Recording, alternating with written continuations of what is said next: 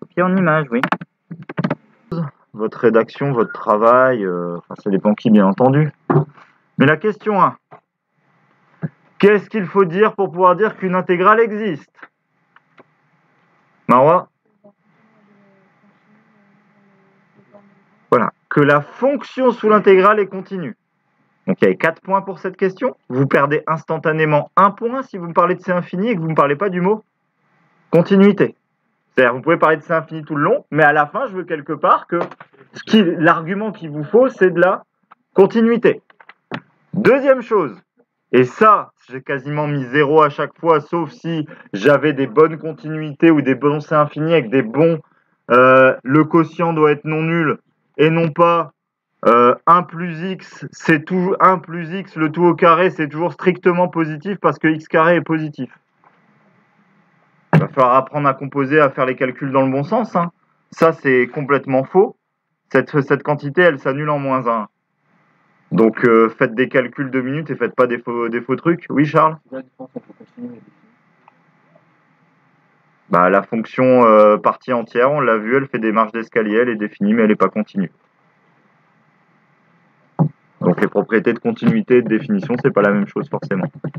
Donc le mot qu'on veut voir écrit, c'est continuité. S'il n'y est pas, c'est que pas, c'est que pas la propriété de cours que tu appliques. Donc, il faut de la continuité, il faut parler de ça. Et surtout, ce que je ne veux pas voir, c'est que n, c'est un nombre. La fonction qui est continue, c'est la fonction, par exemple, qui a x associe xn sur 1 plus x, le tout au carré. N'allez surtout pas écrire IN et c'est infini ou c'est zéro. Ça, je veux jamais le voir écrit, c'est une horreur absolue. Donc, je vais être clair, ça fait partie du, truc typique de barème où on voit ce symbole-là apparaître, zéro, on passe à la question d'après, on lit même plus le reste. J'ai fait un peu plus d'efforts que ça là, mais euh, je vous assure que la prochaine fois, j'en ferai pas plus que ça. IN, c'est infini, au revoir, zéro. Je veux plus entendre parler. Je vous ai jamais écrit ça, c'est du mauvais résumé de cours. Vous devez apprendre mieux les choses. voilà pour cette question, c'est les deux gros problèmes. Après, euh, vous pouvez pas me dire que par quotient, tout marche nickel et qu'il n'y a pas de problème. Euh, mince, je l'ai effacé. Alors si je refais un CTRL C, voilà, ça marche. Euh, vous pouvez pas me dire par quotient, il n'y a pas de problème pour la fonction sur R quand il y a un problème en moins 1. Ceux qui m'ont dit par quotient, il n'y a aucun problème sur 0,1, là ça a du sens et je dois vous mettre les points. Le calcul de I0 et de I1, c'était une forme de référence. Attention, c'est assez rare, mais j'ai eu quelques gros problèmes de certains qui m'ont trouvé la forme de référence en me disant que c'est du 1 plus x puissance moins 2 et qui m'ont primitivé ça en 1 plus x puissance moins 3 sur moins 3. Alors, je pense que vous connaissez vos formules, mais on va apprendre ensemble que moins 2 plus 1, ça fait moins 1. Et donc que ceci, ça fait moins 1 aussi en bas. Donc tous ceux qui ont fait ces erreurs de calcul-là, ça coûte très très très très cher, alors que je pense que vous aviez toute la logique du sujet. Tant pis.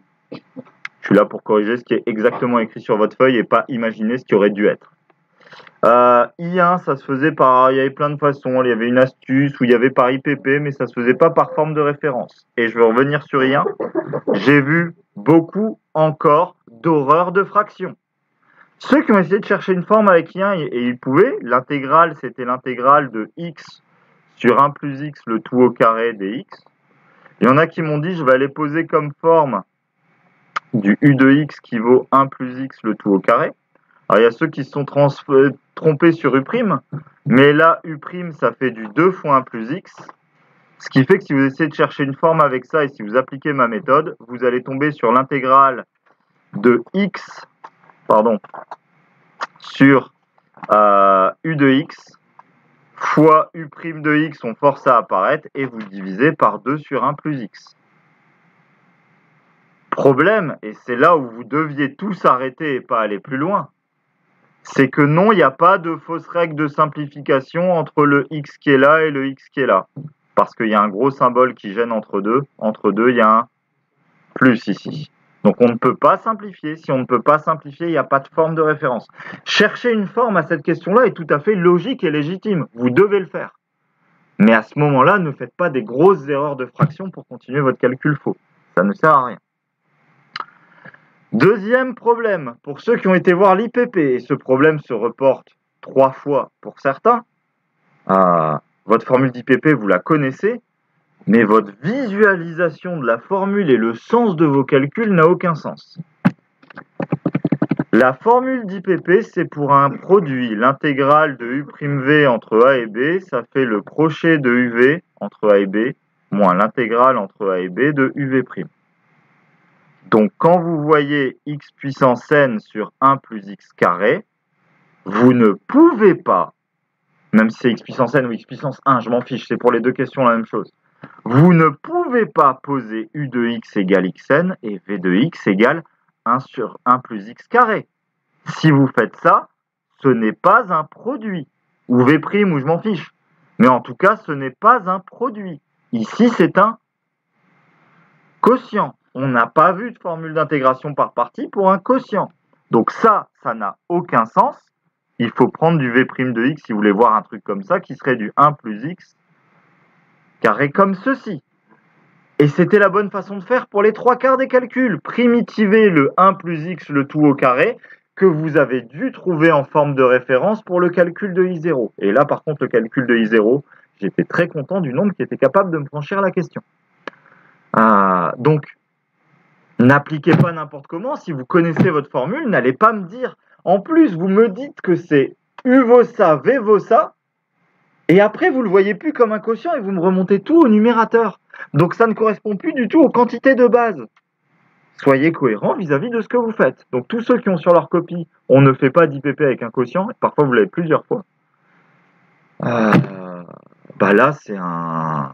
Enfin voilà, ne faites pas des maths qui n'ont aucun sens et qui sont complètement fausses. Vous perdez du temps pour rien du tout.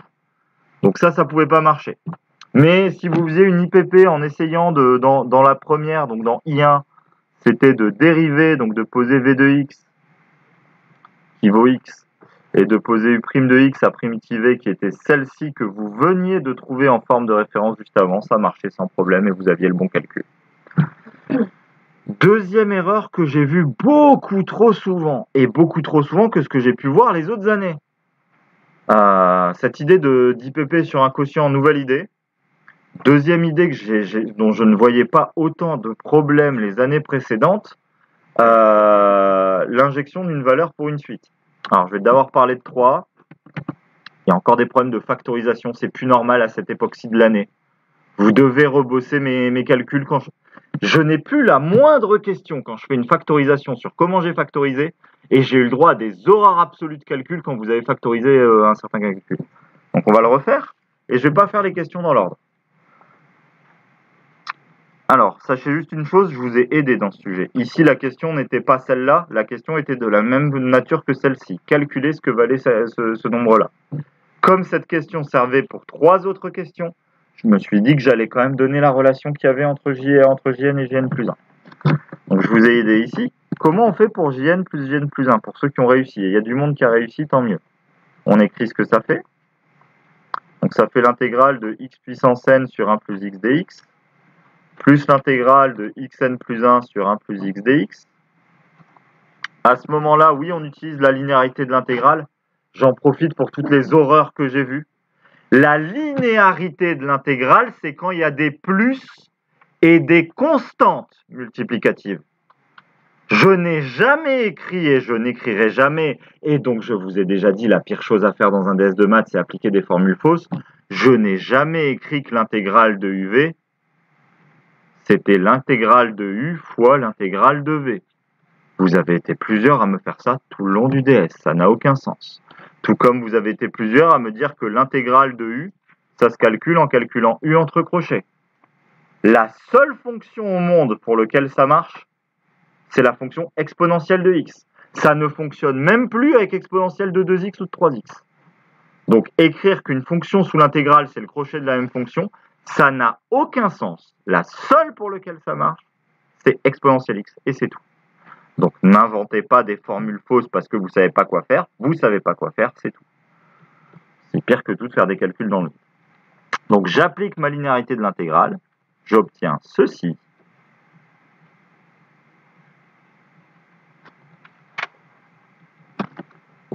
À ce moment-là, Beaucoup ont réussi à le voir, c'était pas super dur. Quelle est la seule chose raisonnable que je peux encore faire dans ce calcul Factoriser par x puissance n, je le fais. Alors c'est là où il y a des erreurs, forcément, quand euh, je vois, et, euh, il y en avait plusieurs, quand je vois un n traîner ici dans la factorisation de x puissance n plus x puissance n plus 1, ben forcément ça ne peut pas marcher, ça ne peut pas simplifier derrière. Donc c'est pour ça que je vous ai qu'il n'est pas normal de voir des erreurs de factorisation ou que, je n'ai aucune question en cours sur ça. Vous admettez de ne pas comprendre ce que je fais en cours, ben vous admettez de vous prendre des tolls après en DS. Mais c'est pas moi qui passe les concours dans un an et demi. Donc maintenant, il va peut-être falloir vous réveiller en cours pour euh, comprendre ce qu'il faut faire en cours et que le cours, c'est pas juste il a noté quoi? Je gratte et cherche pas à comprendre. Ça, ça ne sert strictement à. Si vous ne comprenez pas en cours, c'est pas sans prof tout seul devant votre feuille que vous allez comprendre mieux. Donc non, il n'y a pas de x puissance n ici. Donc là maintenant, il y a du 1 plus x sur 1 plus x. Et ça, ça fait l'intégrale de 0 à 1 de x puissance n dx.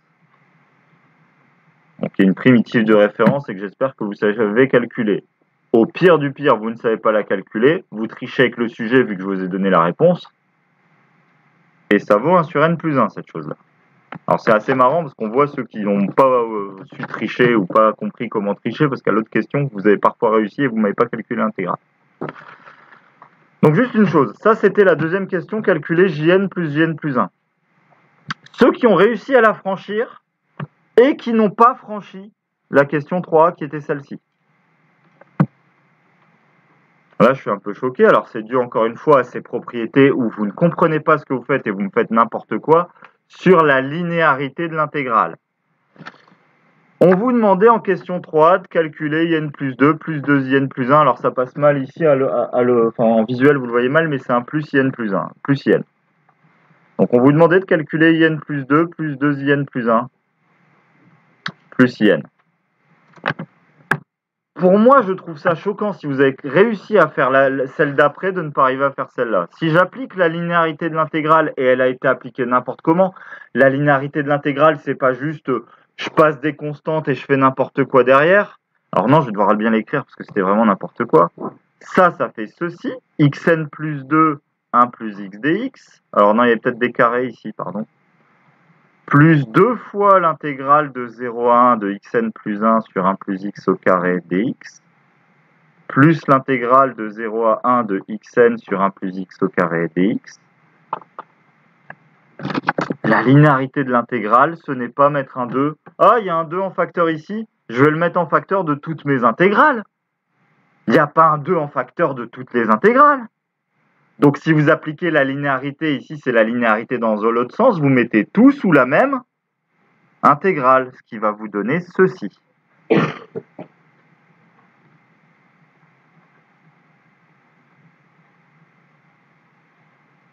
Au fait, la question d'avant que j'ai fait, où j'ai juste factorisé et fait le calcul, ça valait deux points.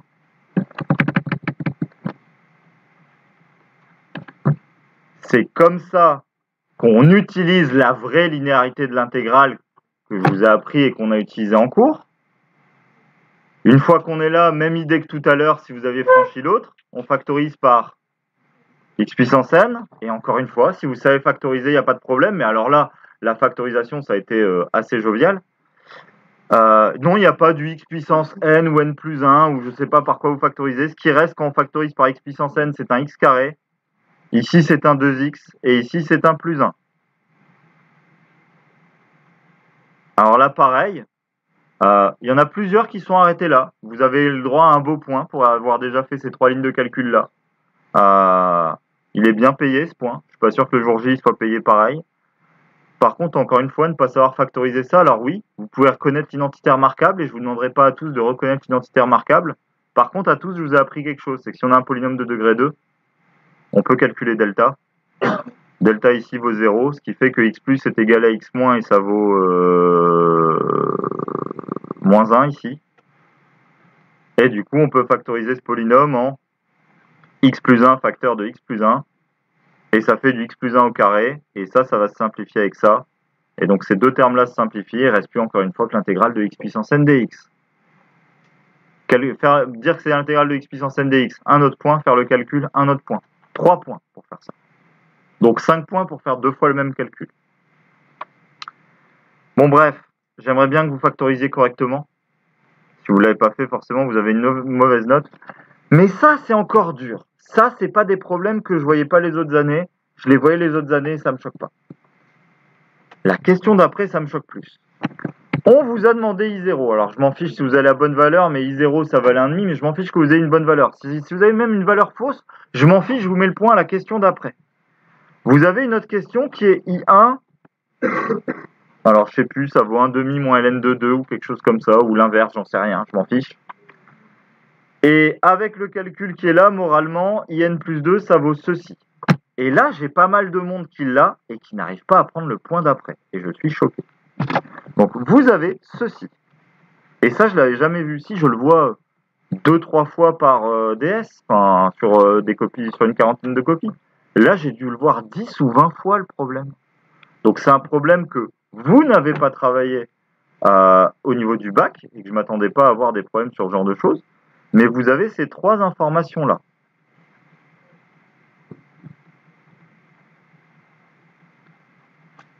Et à ce moment-là, avec tout ça cumulé, on vous demande de calculer I2.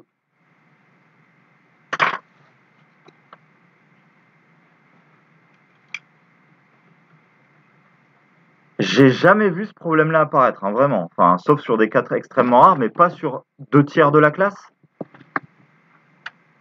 Il faut faire quelque chose pour trouver I2 là-dedans. Il faut injecter dans cette relation-là pour obtenir I2, sachant qu'on a I1 et I0, il faut injecter, oui, n égale 0.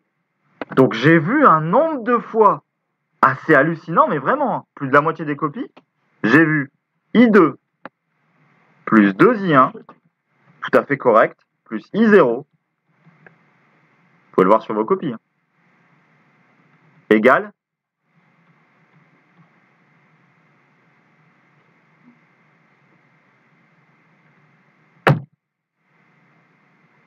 C'est pas possible. C'est pas envisageable que vous gardez 1 sur n plus 1 dans votre réponse finale pour calculer I2. I2 ne dépend plus de n. n a été fixé et dans la relation, n a été fixé à 0. Alors, il y a ceux qui se trompent en gardant du n plus 1, mais il y a ceux qui se trompent en me mettant I2 plus 2I1 plus I0 ici et qui de l'autre côté me mettent un tiers. De l'autre côté, ce n'est qu'un tiers que si vous avez mis n égale 2 dans la réponse. Mais si vous avez mis n égale 2, la relation, elle concerne I4, I3 et I2. Pas I2, I1, I0. Donc il y a une notion de déconnexion entre le moment où vous fixez n sur votre membre de gauche et le moment où vous fixez n sur le membre de droite. Et ça, j'ai pas compris. Donc ça, c'est une grosse erreur de logique de votre part. J'espère que vous le voyez. À part vous dire de fixer n égale à 0, je ne peux pas vous l'apprendre, hein, ça.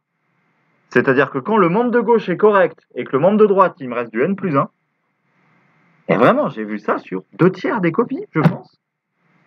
Euh, non, là, le membre de droite à cette question-ci, le membre de droite, c'est... Comme on injecte n égale 0, ça fait 1. Hein.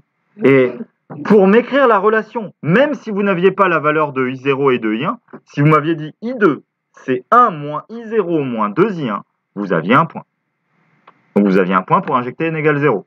Vous aviez un point derrière quand il faut calculer J1 où il faut injecter n égale 0 pour calculer J1 par rapport à J0.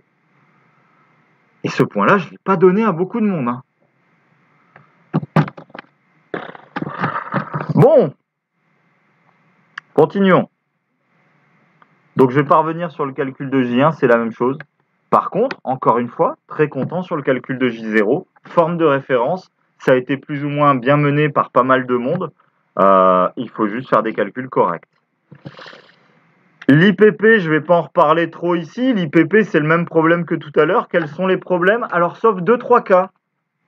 Il y a 2-3 cas euh, où c'est un peu bête. Vous faites l'IPP dans le mauvais sens. Vous avez les, bonnes, euh, le bon concept, mais vous essayez de me faire apparaître, enfin, vous faites une IPP dans le mauvais sens et ça aboutit pas. J'en profite pour aller sur autre chose sur l'IPP, notamment quand elle vous est demandée À chaque fois qu'on a fait une IPP, je dis bien à chaque fois, j'ai écrit quelque chose. Les hypothèses de l'intégration par partie, que U et V sont de classe C1. C1. Donc il y en a qui me mettent que c'est C0, bah, très bien, vous avez une hypothèse fausse, ça vaut 0 point. Et surtout, il y en a 90%, je pense que des C1, j'en ai pas vu beaucoup. Il y a un point pour me dire que les deux fonctions sont de classe C1. Donc euh, merci de ne pas, pas l'avoir pris, ce point-là. Euh, chaque année, je râle pour la même chose. Là, c'est pas spécifique à vous. Chaque année, je râle pour la même chose. Je le fais en classe, je l'écris tout le temps. Ceux qui ont pris l'habitude de bien écrire leur les deux fonctions sont de classe C1, tant mieux. Ceux qui m'ont écrit autre chose, ben, tant pis.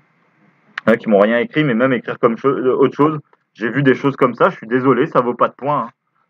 UV appartiennent à R2. Ça aurait été marqué appartiennent à C1 sur R2, ce qui n'était pas vrai, mais au moins j'avais mon mot C1, j'aurais mis les points, je pense. Appartient R2, c'est pas C1, je ne vais pas inventer le mot C1 moi-même, donc il faut le mettre pour une IPP. Donc il y a eu quelques erreurs comme ça, et je ne sais plus qui. Il n'y a qu'une seule copie, je m'avais dit de retenir le nom et j'ai oublié, je, suis désolé, je ne sais plus c'était qui. A fait juste une erreur bête, c'est vraiment dommage, parce que le calcul aboutit pas alors tout est correct, parce que euh, ça, je vous en ai pas parlé, ça dépend des personnes. Il n'y a qu'une seule personne qui a fait ça euh, ici. Quand vous faites votre formule d'IPP, il y a du. En fait, on peut l'écrire en U'V. Je peux effacer recommencer, ça y arrivera. Vous mettez votre crochet en UV et l'autre intégrale, c'est UV'. Et je sais plus qui m'a posé la bonne fonction, enfin le, la bonne chose à dériver, euh, la bonne chose à primitiver n'importe quoi, mais a écrit, a fait un choix à l'envers, ce qui fait que sa formule, elle est écrite à l'envers. Et donc il est retombé, ou elle est retombée, je ne sais plus, sur la même intégrale qu'au départ, et elle n'a pas compris ce qui s'est passé, alors que sa nouvelle intégrale était, en fait, de l'autre côté, parce que le choix était inversé. Je ne sais plus c'était qui. Mais attention quand vous posez vos U et vos V', si vous voyez votre intégrale de départ apparaître dans vos calculs, c'est la logique est peut-être tout à fait correcte, mais que vous êtes trompé sur qui était U, qui était V, dans ce cas-là, écrivez bien votre membre de gauche et vous allez trouver l'autre intégrale. Cette formule, elle est symétrique. On peut la rééquilibrer en inversant les deux membres.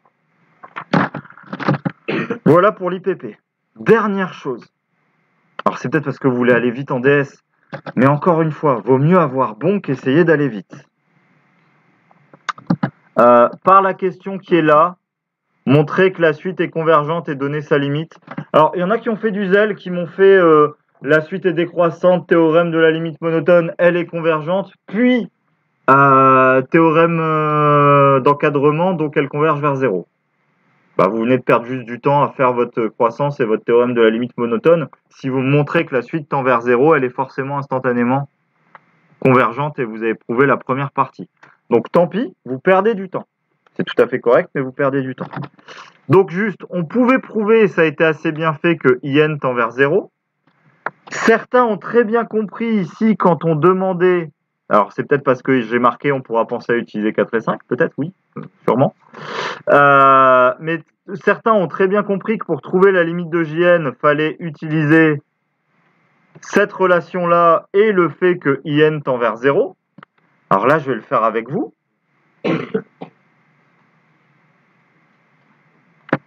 On a pour tout n supérieur ou égal à 1, in qui vaut n jn moins 1 moins 1 demi. Et là, vous allez vous concentrer deux minutes, ce que vous n'avez pas fait pour les trois quarts en DS, parce que j'ai eu le droit à une magnifique limite de 1 demi. Et c'est pour ça que je ne fais pas deux opérations en même temps, au même moment, mais j'en fais une à la fois. Vous commencez par faire quoi? Vous commencez par multiplier par 1 sur n ou par ajouter 1 demi? Quelle est la première opération à faire ici? Ou alors, je vais faire comme vous.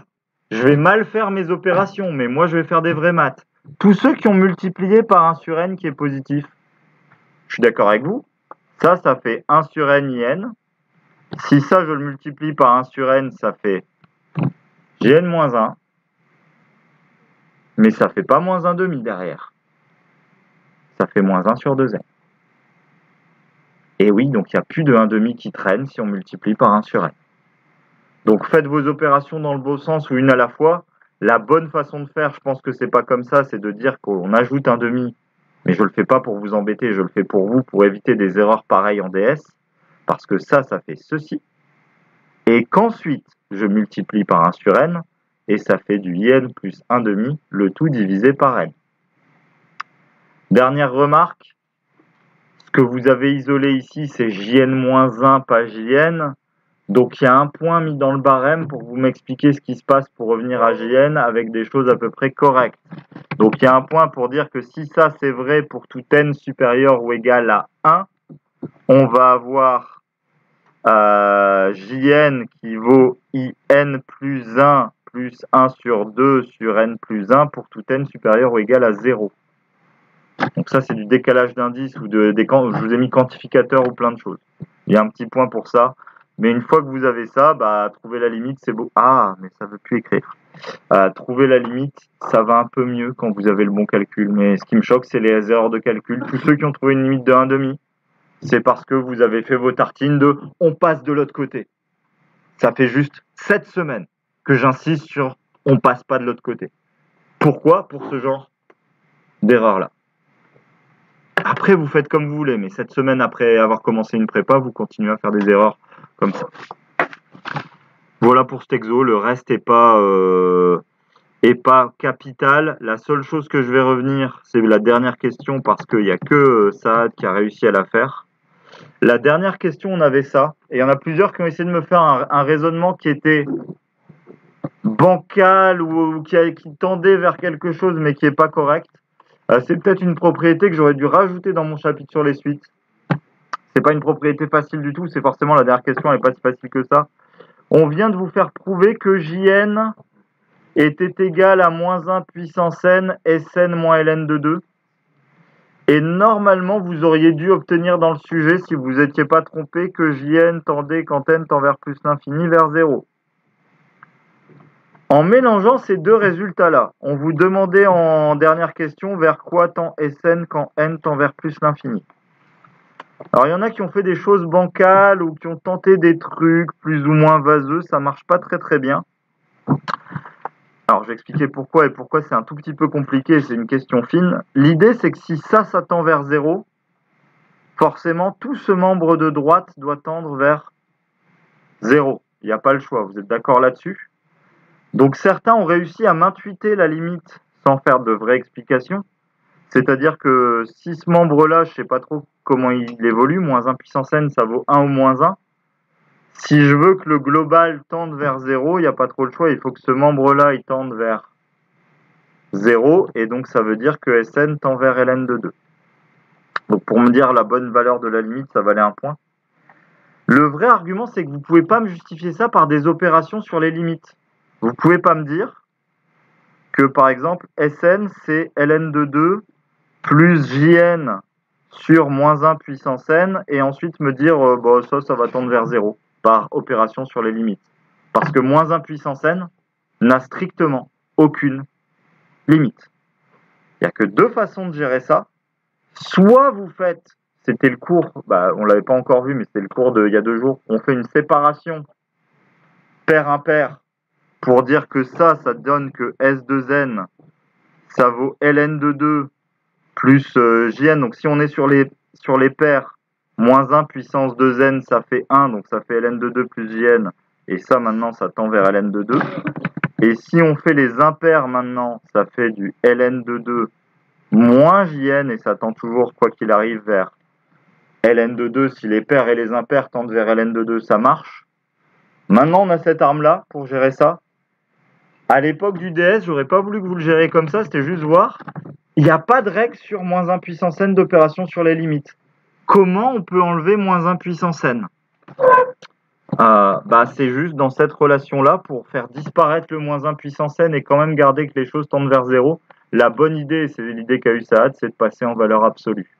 Alors j'aurais pu la rajouter dans le principe, mais ça, ça me donne que Jn, ça fait la valeur absolue de moins 1 puissance n fois la valeur absolue de, ln, de Sn moins ln de 2. Et c'est ça que je regrette de ne pas avoir mis dans le poly. C'est quoi la valeur absolue de moins 1 puissance n Tout le temps. Pas, ça dépend pas de n, ça dépend de rien. Oui, ça vaut toujours 1. et vous venez de faire disparaître votre problème qui était le moins 1 puissance n de vos calculs, et il n'y a plus de mauvaises règles sur les trucs aux limites, et maintenant on peut peut-être même aller enlever la valeur absolue, je m'en fous, mais vous avez fait disparaître le moins 1 puissance n. Question difficile, je voulais juste vous en avoir parlé parce qu'on a vu deux façons de gérer ça. Ok, pour cette dernière question, c'est pas ça qui m'intéresse le plus. Le plus important, c'est de pas faire des grosses erreurs bêtes. Et factoriser n'importe comment, utiliser la linéarité n'importe comment, faire des IPP sur des quotients, euh, pas faire vos calculs dans l'ordre, ce qui fait que votre limite, elle tend vers un demi plutôt que zéro. On enlève tous ces problèmes-là, ma moyenne de classe, elle n'est pas à 17. Elle a plus que ça. Je vais peut-être pas faire tout l'exercice.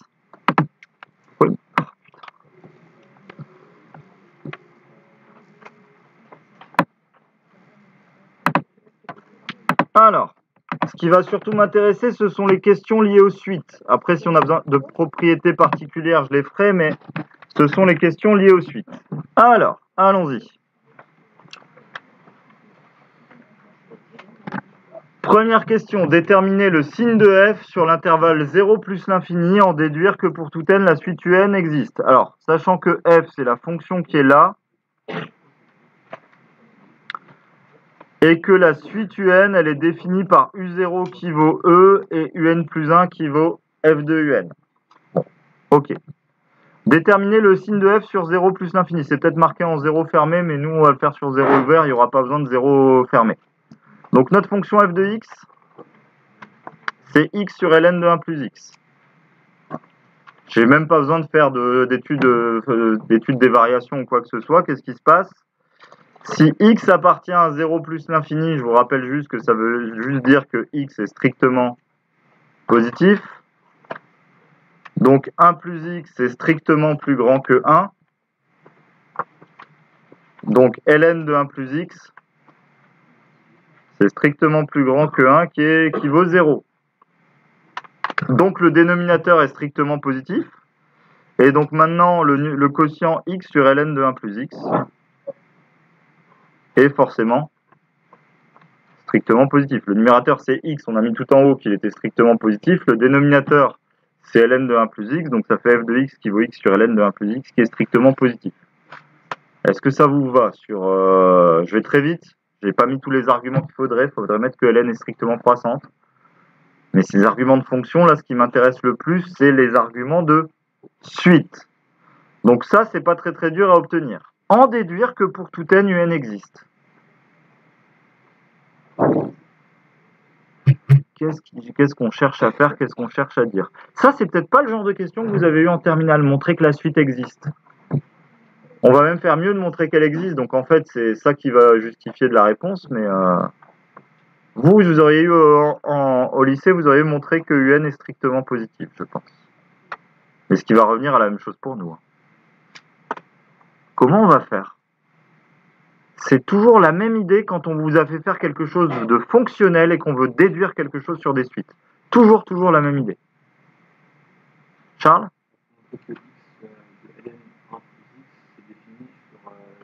Naturel. Donc en gros, tous les chiffres pour quoi. Bah ça, c'est ce qu'on vient de dire que f de x est, strictement positif sur r+. Mais non, si j'écris ma suite, ce que ça veut dire, ça va être que un plus 1, ça va s'écrire un sur ln de 1 plus un. C'est ça que ça veut dire ma relation de récurrence. Alors euh, justement, il y a un concept derrière qu'il faut avoir en tête. Danae?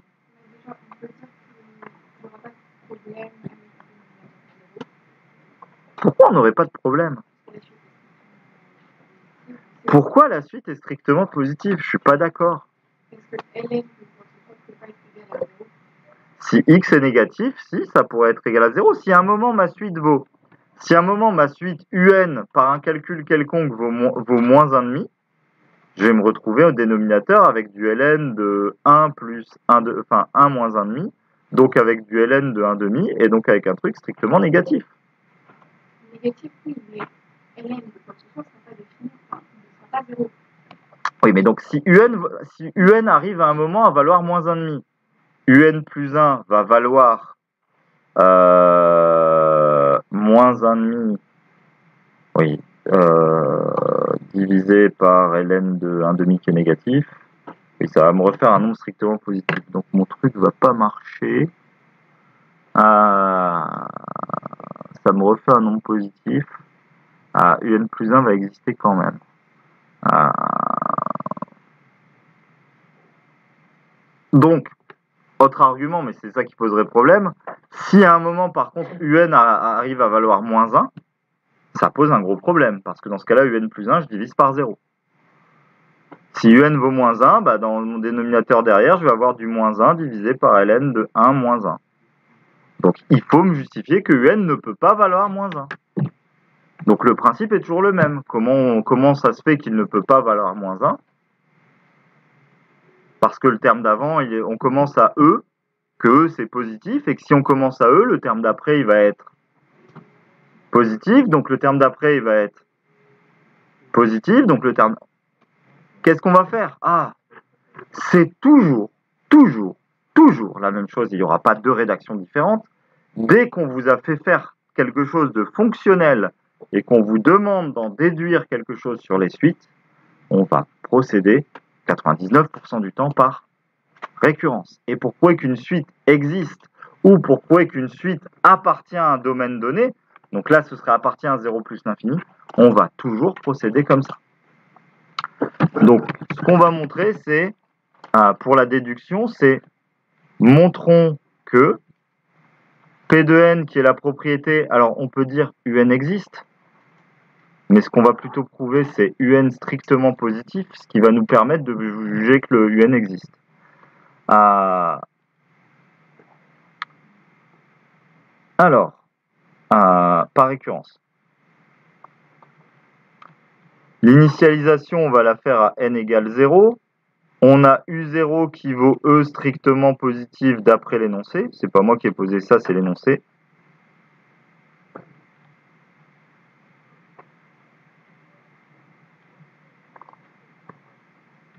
Donc la propriété P0 est vraie. L'hérédité, ah, supposons Pn vrai,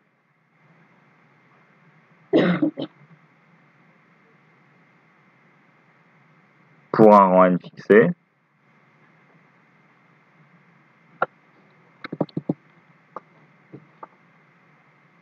On a donc que un, je vais l'écrire comme ça, un existe et un strictement positif.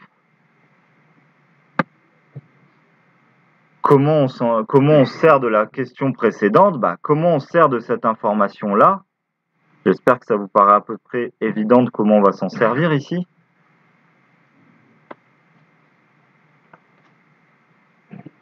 Si un est strictement positif quand x est strictement positif,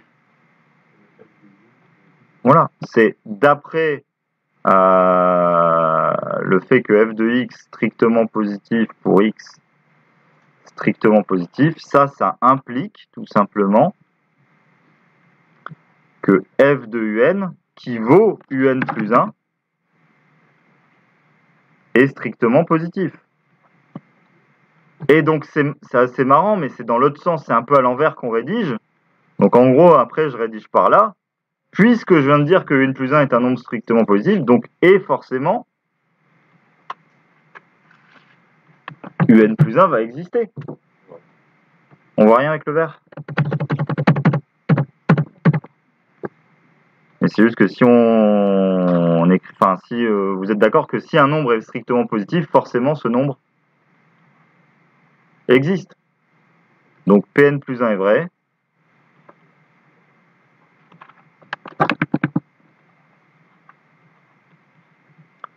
Euh, conclusion, Pn est vrai pour tout n euh, supérieur ou égal à 0 par principe de récurrence. Est-ce que ça va pour cette question? Ça, c'est vraiment du classique de suite. On vous fait quelque chose de fonctionnel, on vous demande d'en déduire quelque chose sur les suites. Ah, ça va marcher comme ça. Alors, je remonte un peu dans le sujet, je redescendrai après pour vous fixer Oui, Emma?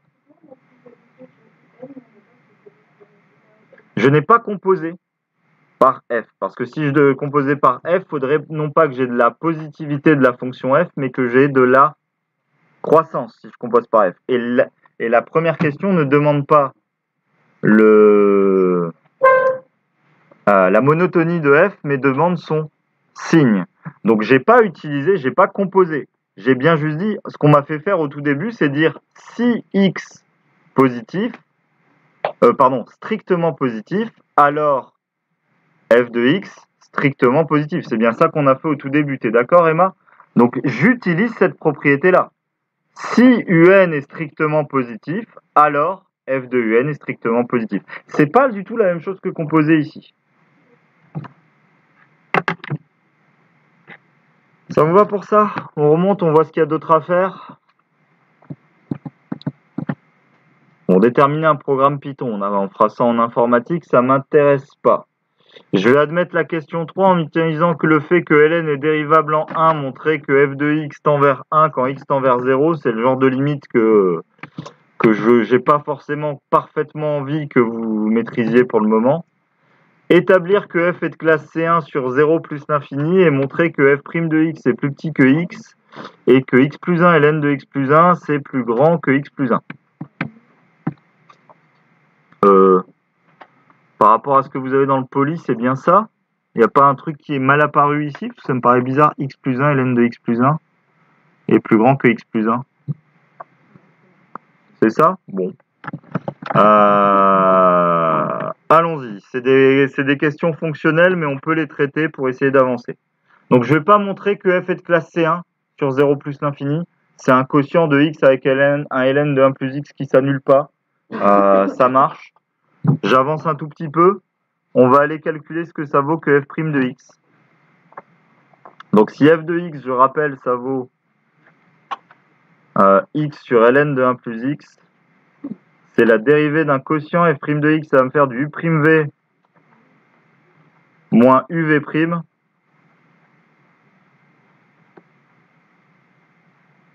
sur v carré. Si je mets tout au même dénominateur, ça va me faire ceci.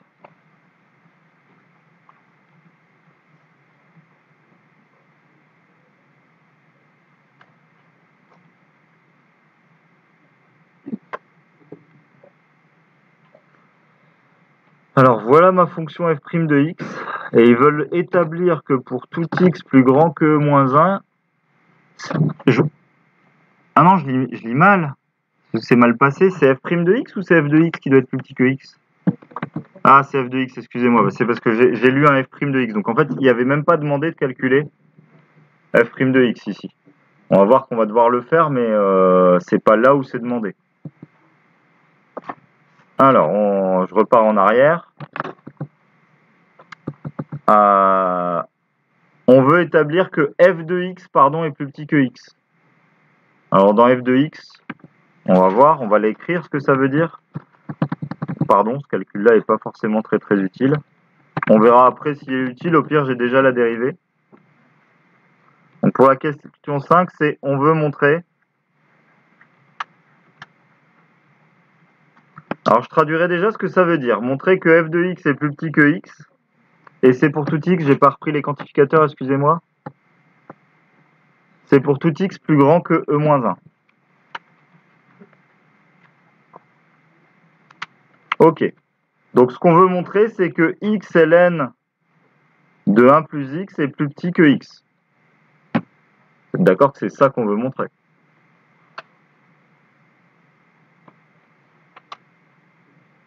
Comment je vais commencer? Comment je vais faire? Ou qu'est-ce qu'on peut voir pour essayer d'avancer Emma? Alors, on peut faire une étude de fonction. C'est juste, et, ça doit marcher. C'est juste que vu la tête de f', que je viens de calculer juste au-dessus, si on veut faire une étude de fonction, si on fait du f de x moins x négatif par exemple, il y aura cette dérivée là moins 1.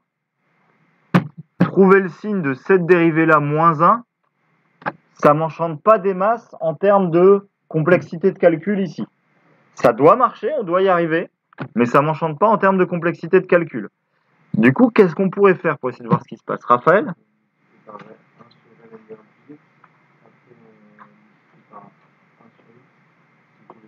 On a un L de x, L de 1 plus x est plus grand ou égal à 1. revenir à ça. Ça me paraît déjà être un, un bon départ et voir comment ça marche.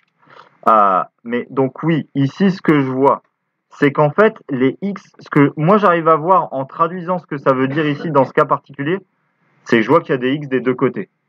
Donc je vais vouloir essayer de simplifier cette équation. Donc moi ça me paraît naturel, par exemple, de multiplier par 1 sur x qui est strictement positif vu qu'on est euh, car on sait que x c'est plus grand que 1 sur e, e moins 1 c'est bien strictement positif.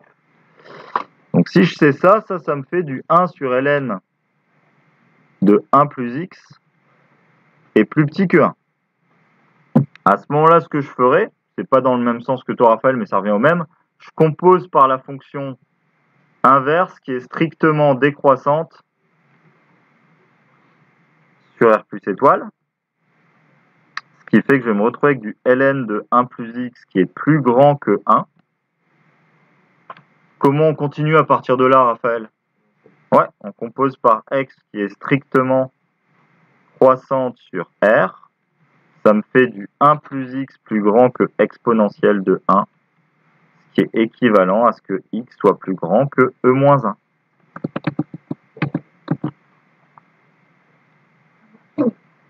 On a bien montré que pour tout x supérieur ou égal à e moins 1, on a f de x plus petit que x.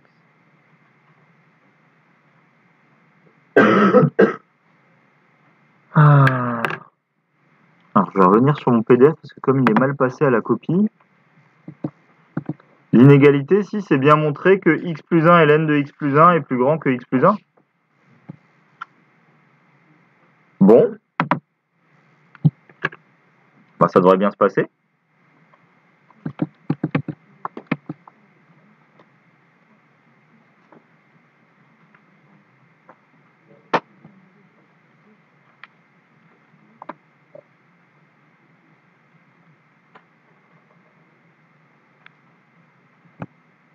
Donc il n'y avait pas besoin de f' du tout, j'avais vu un f', mais il n'y a même pas de f', donc on n'a pas besoin d'utiliser f'.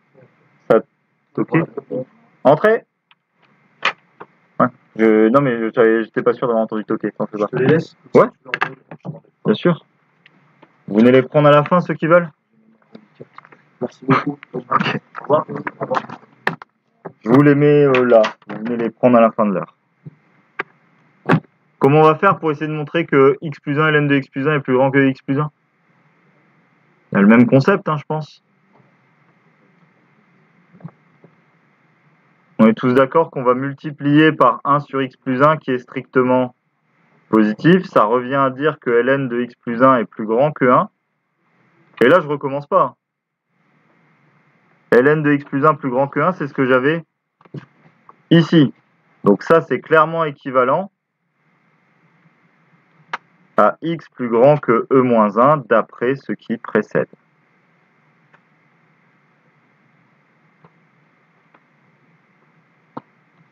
Ok.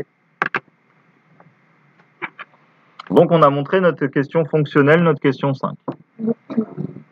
Mais je suis d'accord que l'étude de fonction est un choix possible, c'est juste que vu la tête de la dérivée ici, j'ai vraiment pas envie de le faire. Mais euh, c'est une vraie possibilité qui doit marcher. Ah, ok pour cette question 5. Alors, hop, je ferais mieux pour continuer de... euh, bon, je vais quand même repasser là 10 secondes. Je remonte pour que vous puissiez voir. Oula, c'était pas ce que je, c'est pas ce que je voulais faire. Ah bah c'est c'est ça qui cherche à en déduire. En déduire que f' de x est positif. Bon bah, allons-y.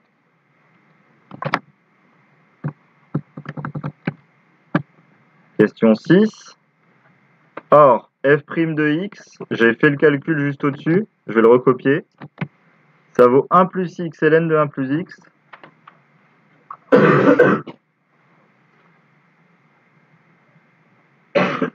moins x sur 1 plus x ln de 1 plus x au carré. Mon but c'est de montrer que c'est positif. Comment je fais?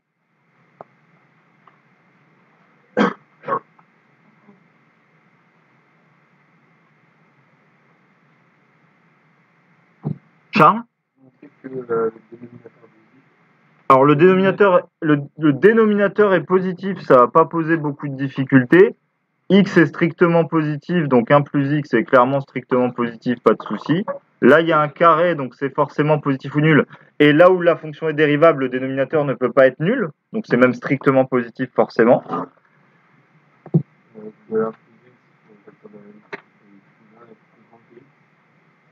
Oui, ça va revenir à dire ça. Donc, or f' de x c'était équivalent à ça. Donc, f' donc, f' de x positif, c'est équivalent à ce que le numérateur soit positif par les arguments qu'on vient de donner sur le dénominateur.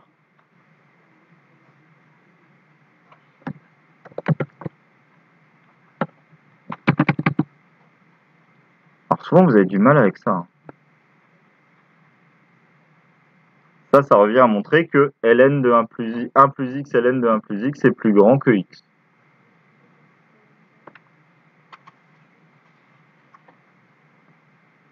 On peut le prouver de plein de façons différentes, mais j'ai envie d'avoir un, un truc rapide qui est efficace. Emma?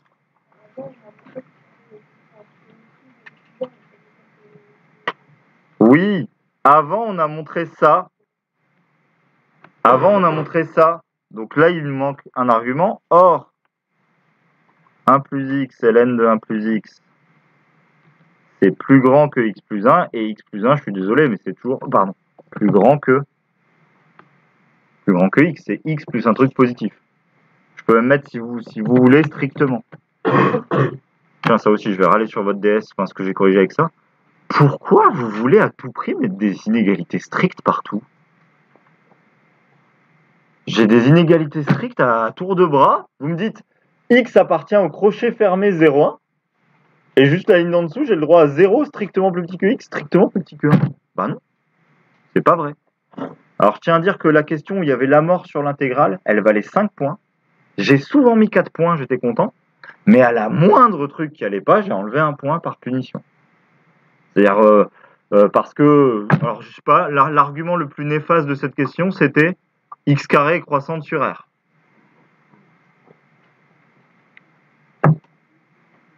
Bah, x carré est bien croissante, mais pas sur r. hein. Donc euh, ça vaut pas le point pour ça. Et l'autre argument, c'est bien sûr le x puissance n est strictement positif, sachant qu'on est sur 0,1. Il peut valoir 0, donc il est juste positif. Donc ça, ça vous allez un point en moins. Parce que, je suis désolé, mais je vous ai dit qu'il fallait être précis sur ce qu'on veut et pas dire des bêtises. Ah. Donc, on a bien.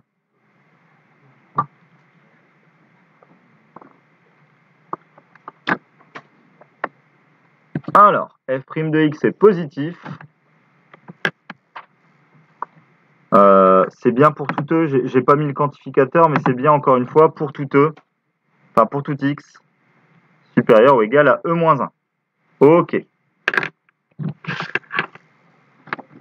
Alors, qu'est-ce qu'ils nous font faire derrière? Ils nous font montrer que un est toujours plus grand que e moins 1.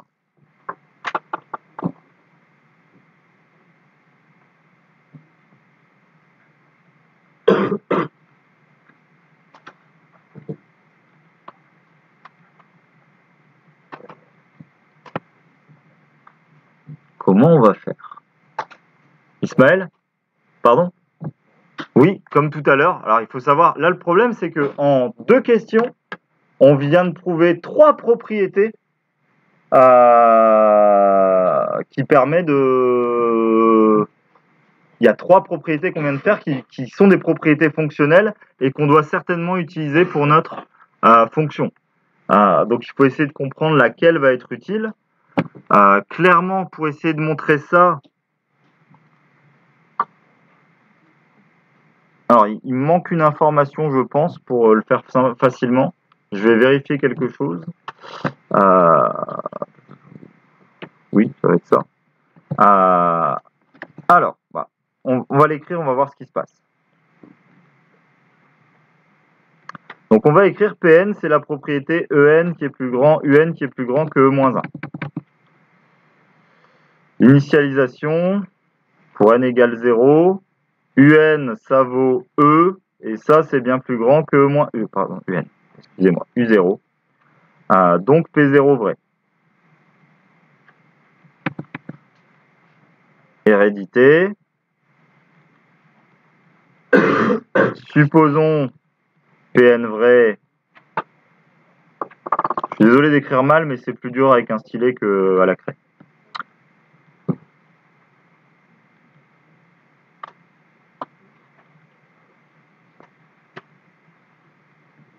Par contre, sur le site, pas, pas dans le dossier de partage, je m'en occupe plus trop, mais sur le site, vous avez une section vidéo. Ce soir, la vidéo sera mise en ligne. Alors, sera mise en ligne sur YouTube parce que sinon, ça remplit mon, serveur euh, à une vitesse hallucinante.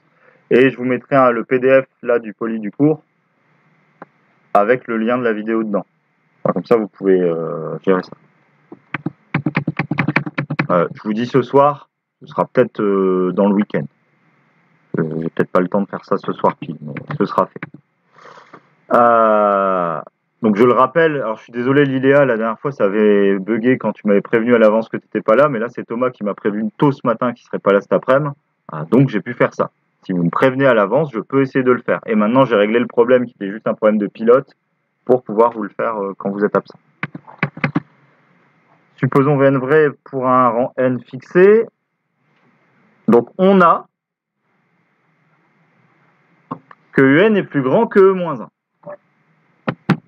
Comment vous voulez me montrer Alors je vais le mettre là dans le coin.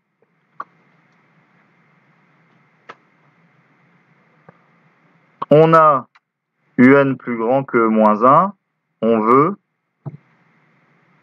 UN plus 1 plus grand que moins 1. Danae?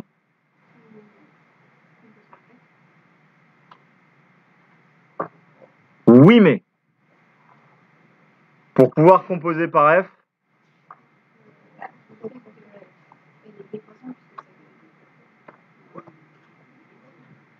Non, alors c'est ça, Danae, c'est juste qu'il faut rentrer dans la notation du sujet, on va un peu vite, donc c'est dur de rentrer dedans, mais c'est ça l'idée.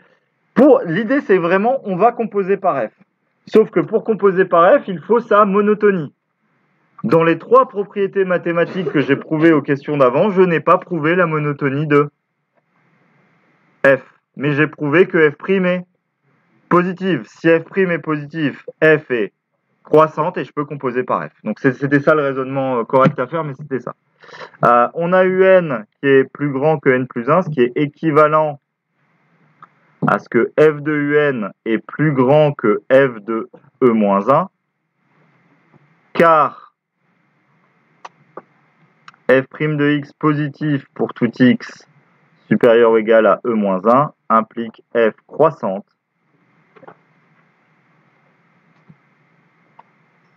sur E moins 1 plus l'infini. Donc maintenant qu'on vous le voyez comme ça, bah, il ne reste plus que deux choses à faire. f de un, bah, par définition, ça fait un plus 1. Il ne nous reste plus qu'à calculer f de e moins 1. Et f de e moins 1, ça fait e moins 1 sur ln de 1 plus e moins 1. Donc ça fait e moins 1 sur ln de e. ln de e, ça fait 1. Donc cette chose-là, ça fait e moins 1 directement. Donc Pn plus 1 vrai.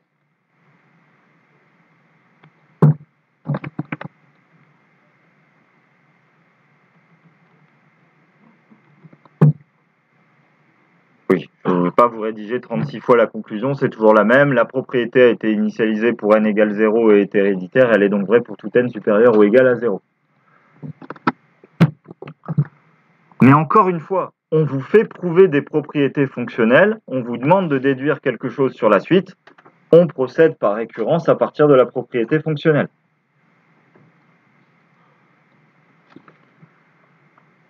Alors,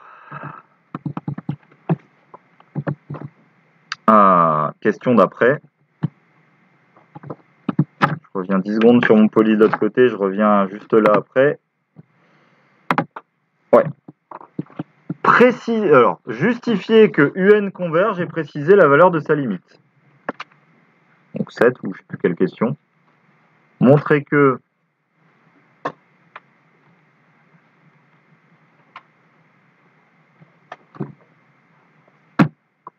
Alors là, avant même de parler des arguments mathématiques, qu'est-ce qu'ils veulent nous faire faire si la question d'avant, c'est montrer que UN est plus grande que quelque chose? Danae? Non. Corentin? Elle est minorée. Et la question d'après, c'est montrer qu'elle converge. Qu'est-ce qu'ils cherchent à nous faire faire? Léopold?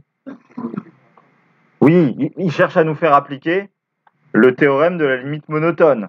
Donc il cherche à nous faire montrer que la suite est décroissante. C'est ça qu'il faut essayer de comprendre du sujet et du but du sujet. Si vous comprenez ça, maintenant il faut trouver quel argument nous permet de montrer que UN est décroissante. D'après vous, là je vais faire mon prof, euh, mon prof de maths, mais il faut peut-être euh, réfléchir 10 secondes.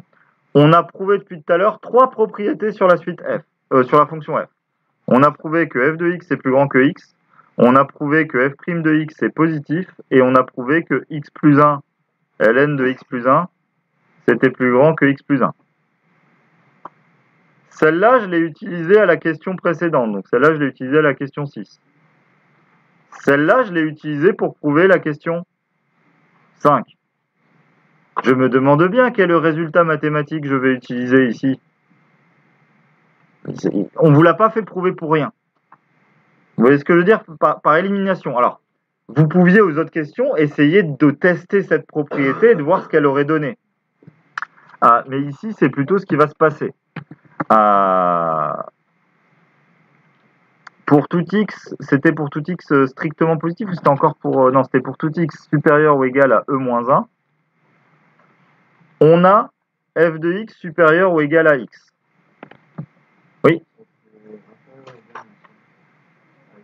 Ah, pardon. Oui, c'est oui, j'ai écrit oui. En plus, sinon, euh, pour montrer qu'elle est décroissante, ça va être compliqué. Merci euh, Raphaël, sinon j'aurais perdu du temps. Oula. On va... Voilà, on va plutôt faire comme ça. Merci Raphaël, c'est ici où ça aurait dû être inférieur ou égal à x. Pour tout x plus grand que 1, on a f de x plus, plus petit que x. Et pour tout n appartenant à n, un qui est plus grand que moins 1. Donc f de un c'est plus petit que un, ce qui est équivalent à écrire que un plus 1 c'est plus petit que un. Donc la suite un est décroissante.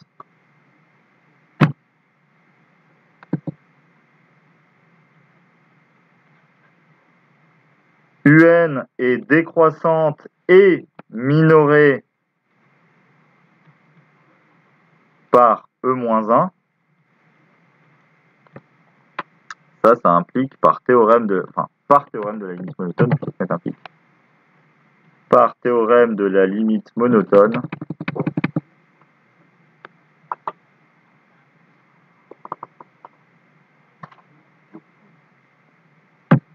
ça implique que notre suite converge.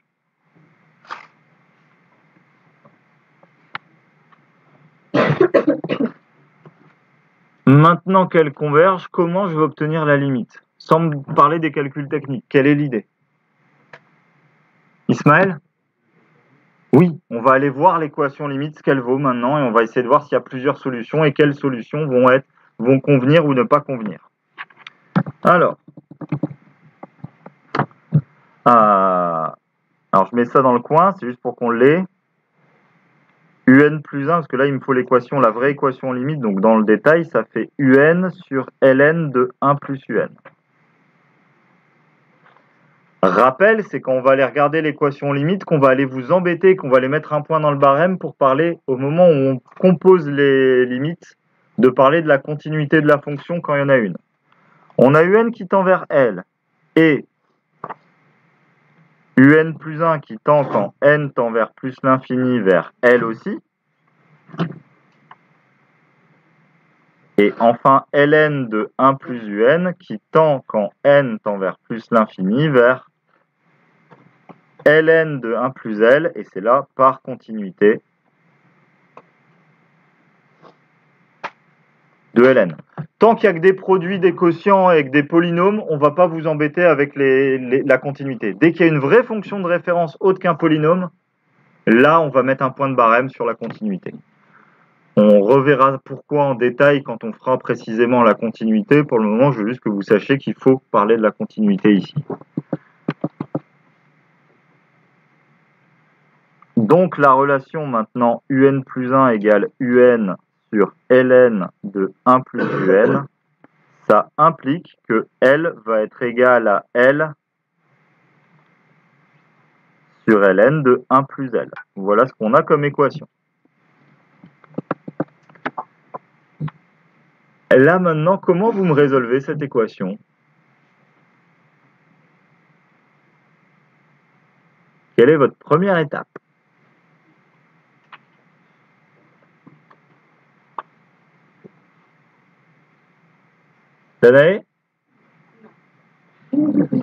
Ah, C'est là-dessus, on va vous faire des pièges où il faut des arguments, où il faut préciser des choses vis-à-vis de ma rédaction. Et ma rédaction n'est peut-être pas parfaite. On va voir pourquoi, mais il y a besoin d'un argument quelque part où vous l'avez peut-être, Mathieu? Oui, c'est ce qui me paraît le plus cohérent pour pas faire de... Si vous voulez multiplier par 1 sur L, il faudrait savoir que L est différent de 0, ce qu'on ne sait pas encore. Comment on aurait pu le savoir que L était différent de 0 J'ai mal rédigé quelque chose qui fait qu'on ne le sait pas, mais on aurait pu le savoir. Gabriel?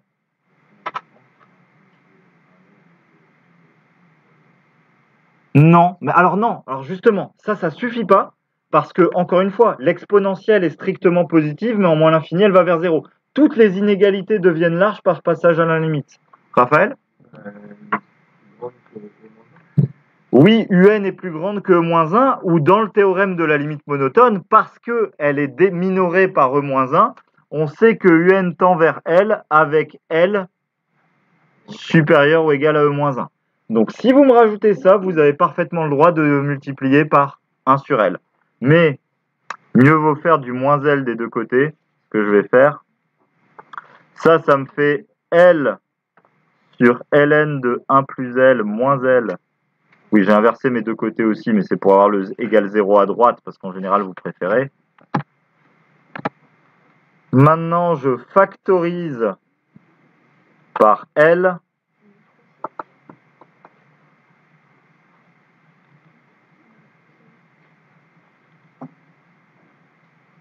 Maintenant, un produit est nul si et seulement si l'un des facteurs est nul.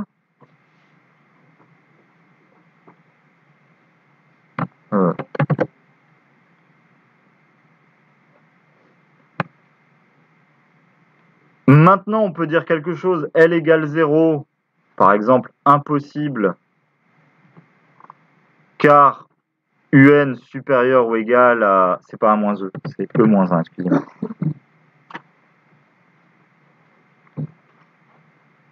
Donc on est forcément dans le cas 1 sur ln de 1 plus L est égal à 1, ce qui est équivalent à ce que 1 sur ln de 1 plus L égale 1, ce qui est donc équivalent à ce que ln de 1 plus L égale 1 aussi. Pour qu'un quotient soit égal à 1 avec le numérateur qui vaut 1, il n'y a pas le choix, le dénominateur vaut 1, il n'y a pas besoin de composer. On peut composer par l'inverse si vous voulez, mais comme c'était au dénominateur, ça ne pouvait pas être nul. Et là, maintenant, je vais composer par l'exponentielle qui est strictement croissante sur R, ce qui me fait du 1 plus L égale E, et ce qui me donne L est égal à E moins 1.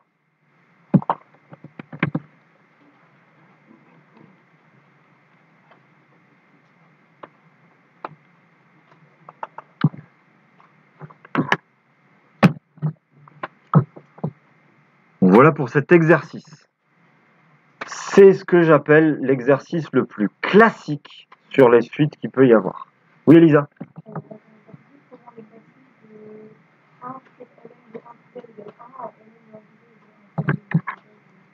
Alors, je peux, si, ça, si tu préfères le voir comme ça, de dire que je compose par x euh, donne 1 sur x qui est strictement décroissante. C'est une possibilité. Mais sinon, réfléchissons juste. Tu as 1 à droite, 1 au numérateur à gauche, et tu veux que la fraction soit égale à 1. bah, le dénominateur, il n'y a pas trop le choix. Le dénominateur est obligatoirement égal à 1. Il n'y a aucune autre possibilité qui donne que le résultat va faire 1 sinon. Alors, je redis, c'est parce que ça, ça me paraît important. C'est pour ça que je l'ai fait en premier. C'est pour moi l'exo le plus classique sur les suites. En fait, les trois quarts des questions ne portent pas sur les suites, les trois quarts des questions portent sur les fonctions, mais on ne vous fait trouver en propriété sur les fonctions que ce qui nous intéresse pour les suites. C'est-à-dire qu'ici, on avait juste besoin de savoir que la fonction était croissante, donc la dérivée était positive, et on avait besoin de savoir que f de x était plus petit que x pour pouvoir parler de décroissance. C'est les deux seules propriétés qu'on avait vraiment besoin sur les fonctions. Alors bien sûr, pour pouvoir dériver, il fallait montrer qu'elle était de classe C1 avant, mais vraiment toutes les propriétés des fonctions n'ont été faites que pour obtenir des propriétés sur les suites. Donc c'est vraiment euh, un exemple classique de ce qui peut vous être demandé. La dernière question, un peu dure à mon avis, c'est la seule question pour moi dure du sujet, dans le sens où elle est complètement ouverte. On vient de vous faire montrer que votre suite est plus grande que quelque chose, en déduire quelle converge est la valeur de la limite. Donc là, il y avait la surcouche de votre part à penser à montrer qu'elle est décroissante. C'est clairement ce que veut faire le sujet, vu que sinon l'équation f de x plus petit que x sert à rien. Mais il faut arriver à, mettre bout à bout les, les choses. Pour moi, ça, c'est une question difficile parce qu'il faut être rentré dans le sujet, comprendre ce qu'ils veulent vous faire faire et faire le reste. Les autres questions, une à une, elles peuvent être prises séparément et même être résolues séparément.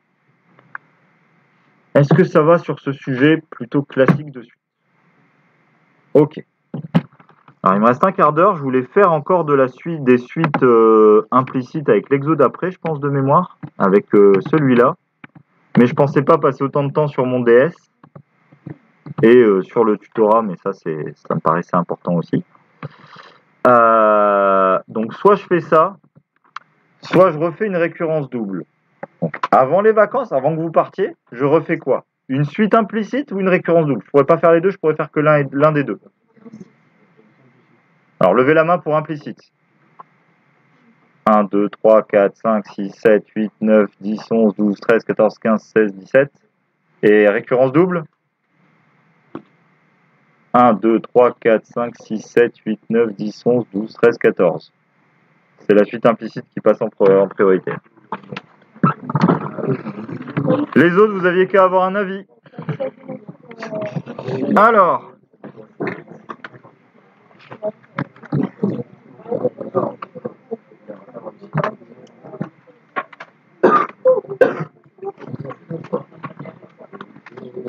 Alors c'est le problème 7, il y a des notations un tout petit peu lourdes au début.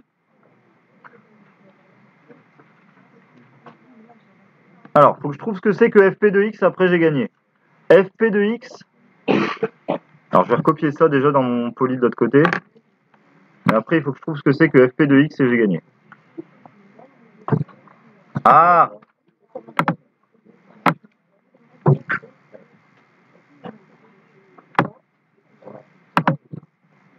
Alors, hop. Donc on fait le problème 7.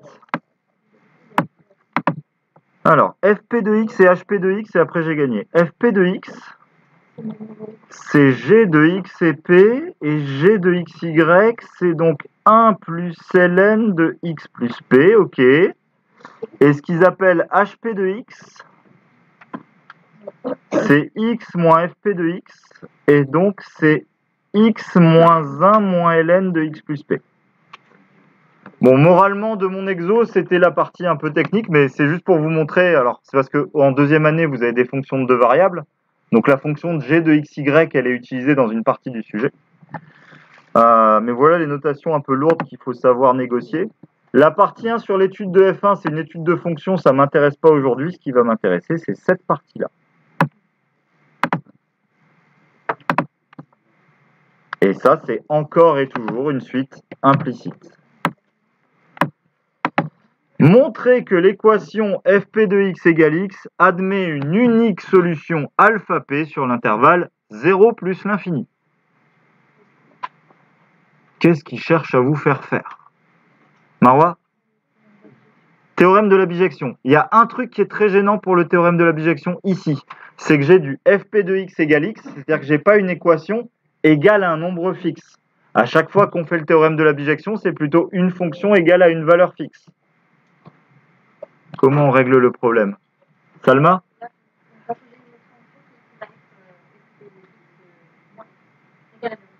Alors, je suis d'accord avec toi, sauf que là, je vais rentrer un tout petit peu plus simplement dans les notations.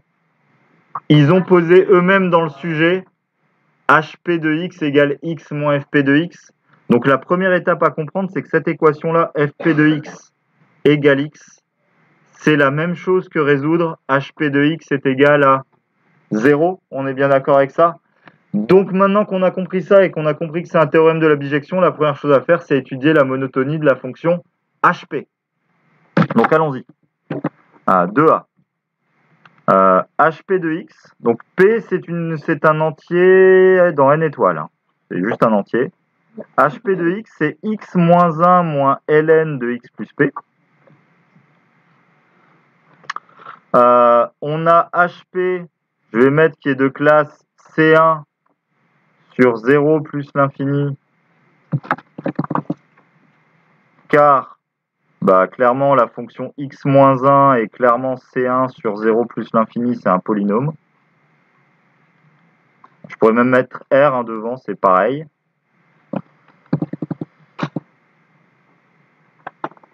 Et ensuite, la fonction ln de x plus p, elle est clairement C1 aussi sur 0 plus l'infini, mais là, il me faut un argument parce qu'il y a une composée. L'argument, c'est juste que x plus p est strictement positif si x est strictement positif.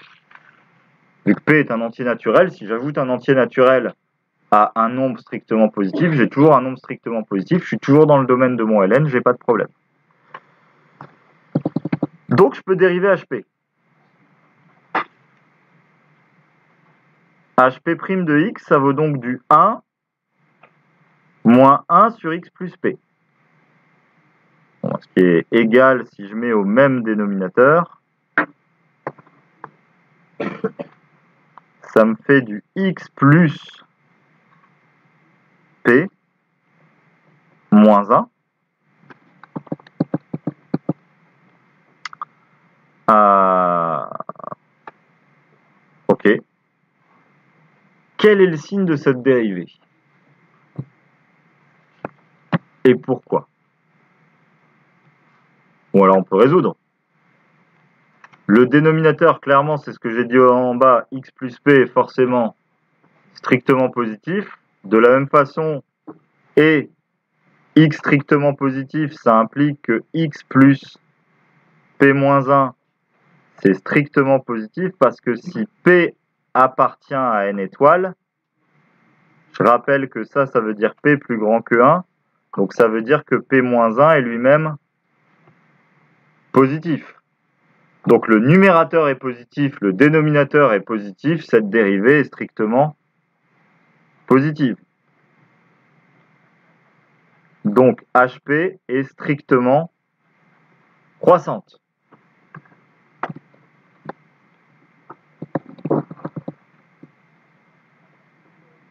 On a HP continu sur 0 plus l'infini, strictement croissante sur 0 plus l'infini par théorème de la bijection HP est bijective de 0 plus l'infini. Alors comme tout est ouvert, il faut l'écrire proprement, c'est dans alors ça s'écrit d'abord h de 0 plus l'infini, HP de 0 plus l'infini Mais HP de 0 plus l'infini, on est bien d'accord que puisqu'elle est strictement croissante, ça me fait la limite quand, quand x tend vers 0 de HP de x, et de l'autre côté, ça me fait la limite quand x tend vers plus l'infini de HP de x.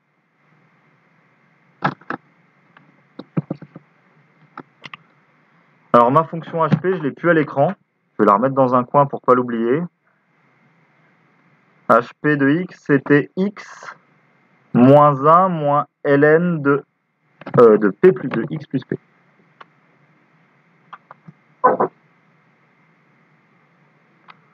Donc clairement, la limite en zéro de cette chose-là, ça pose pas trop de difficultés. En zéro, cette chose-là, ça fait du moins 1 moins ln de p.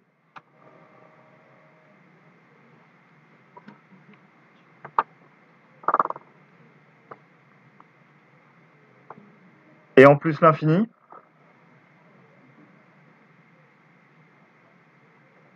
Je n'ai pas, pas envie de prendre trop trop de temps pour faire cette limite. C'est une forme indéterminée officiellement, ça fait l'infini moins l'infini, parce qu'il y a l'infini à cause du x moins 1 et il y a l'infini moins l'infini à cause du ln. Mais à l'infini, qui l'emporte entre ln et le polynôme C'est le polynôme, donc la limite en plus l'infini, ça va faire plus l'infini. Alors on a quasiment fini notre théorème de la bijection, il nous reste un dernier point à dire, c'est que maintenant qu'on a l'intervalle image, or 0 est bien dans l'intervalle d'arrivée.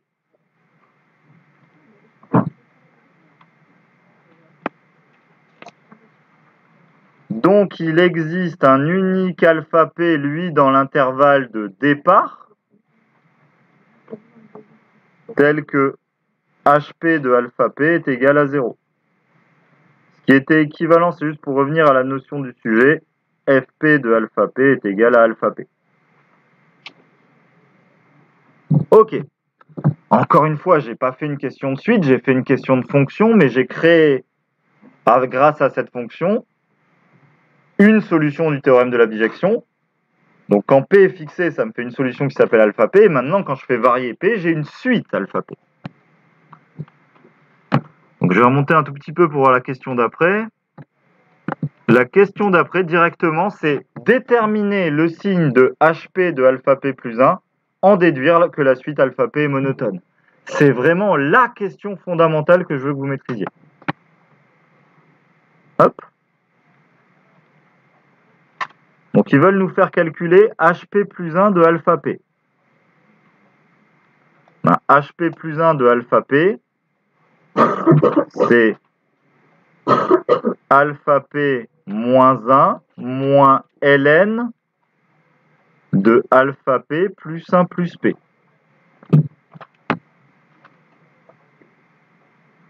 Comment je vais déterminer le signe de ça? Qu'est-ce que je peux utiliser? Qu'est-ce que je dois utiliser?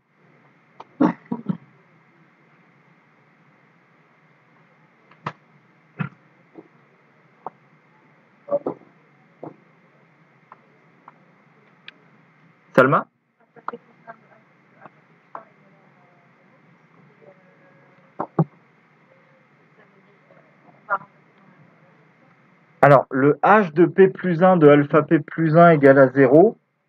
Si tu regardes mon membre de droite, il ne dépend que de alpha p. Donc avec ton calcul, tu vas faire apparaître dedans du alpha p plus 1 si tu veux t'en servir. Là, je pense qu'il est plus utile pour ce calcul-là, ce sera pour la deuxième partie, on va utiliser ça. Il est plus utile ici d'utiliser, euh, c'est pas un on, c'est un or, que hp de alpha p, ça fait 0. Et c'était quoi hp de alpha p? Bah, c'était alpha p moins 1 moins ln de alpha p plus p. Alors maintenant que vous vous rendez compte de ça, il se passe quelque chose, c'est que mon alpha p moins 1 là, je peux le remplacer par du ln de alpha p plus p. Alors vous allez dire en quoi je gagne bah, Si maintenant j'injecte ça là-dedans, ça va me donner du ln de alpha p plus p moins ln de alpha p plus 1 plus p. Quel est le signe de cette chose? C'est pas très très compliqué. Il faut s'en rendre compte, il faut arriver à le faire, ça. On peut faire du calcul, mais c'est...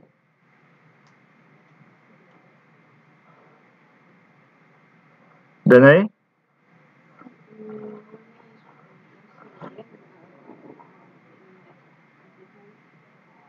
Ouais, c'est une façon de l'expliquer, je suis d'accord avec toi. Voilà. Je vais l'expliquer d'une autre façon, mais c'est la même chose. On a clairement une différence de 2 ln. Et clairement, l'argument du premier ln est plus petit que le deuxième. Donc c'est comme si on avait... Moi, je vais juste le voir comme ça. Ça, pour moi, c'est du lnx moins ln de y avec x strictement plus petit que y. Or, ln, c'est une fonction croissante. Si ln est croissante, ce nombre-là, il est strictement négatif car ln strictement croissante. Vous êtes d'accord sur le principe? Dernier raisonnement et on arrêtera là, j'aurais même pas eu le temps de finir mon exo, je vais grogner, c'est pas grave.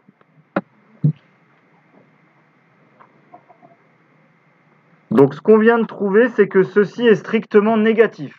C'est cette partie-là qu'il faut essayer de maîtriser. Comment je me sers de ça pour essayer de trouver la monotonie de ma suite? Le problème dans cette équation, c'est que je ne connais qu'alpha p à travers les fonctions hp, hp plus 1. Donc ce 0 à droite est très gênant. Je voudrais le voir écrit autrement.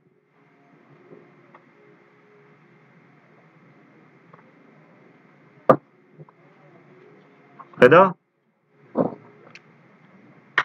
Oui, comme je l'avais dit hier, je veux essayer de faire apparaître la même fonction. Donc ça, c'est du hp plus 1 de alpha p plus 1. Maintenant, j'ai donc deux points de la même fonction. Et puisque la fonction hp plus 1 est strictement croissante, ça, ça me donne alpha p strictement plus petit que alpha p plus 1. Donc ce qui est équivalent à dire que la suite alpha p est strictement croissante. Voilà pour ça. Je vous souhaite de très bonnes vacances.